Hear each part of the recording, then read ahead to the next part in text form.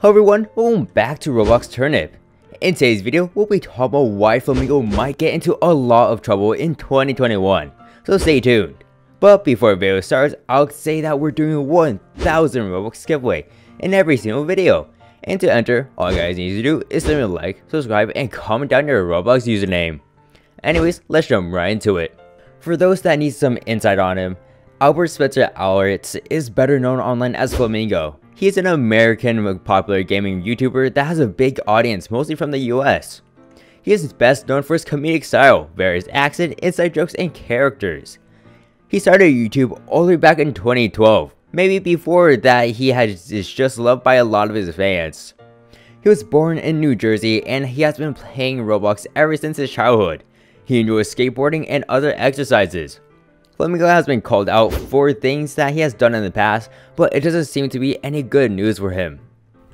Will I explode that house? Oh my god. See, you can actually explode things. Thank you. Oh god, their big fat boyfriend. What? Ah! The first reason is because Flamingo nearly cancelled. Flamingo used to make content on his old channel Albert Stuff, where he would use profanity and uh, extremely racist slurs in his videos. He was called out for the thing in August 2020, and some people or even parents are still mad about it to this day. Flamingo purposely stopped uploading onto his old channel because YouTube kept demonetizing it. Fans were able to dig up information about his old channel and expose him. Because he used to make content that is not appropriate for kids, many people were shocked and absolutely disrupted by the Roblox community. The second reason is because he enjoys getting attention. Flamingo gets into a lot of attention and views almost every time he does something insane. But some viewers might actually have this in a negative way. Some people even want on to say that Flamingo is a too much of an attention seeker.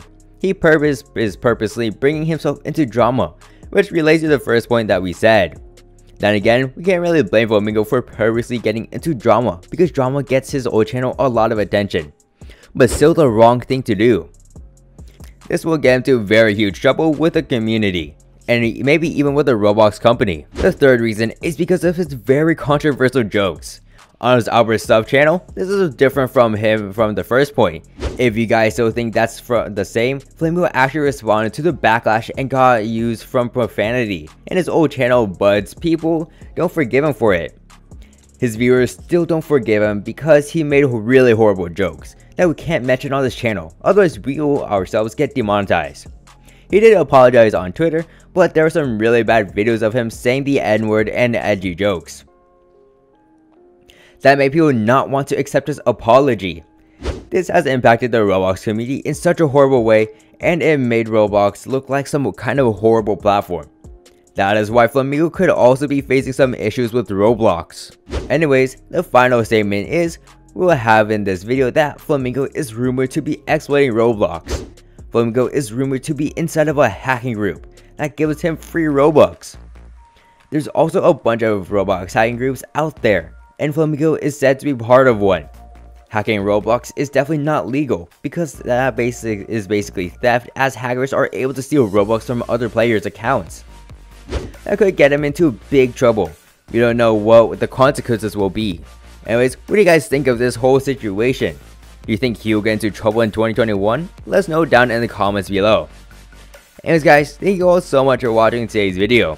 If you guys enjoyed watching today's video, make sure to drop a like and subscribe to the channel. It really helps us out and plus, I really appreciate it. Anyways, bye bye.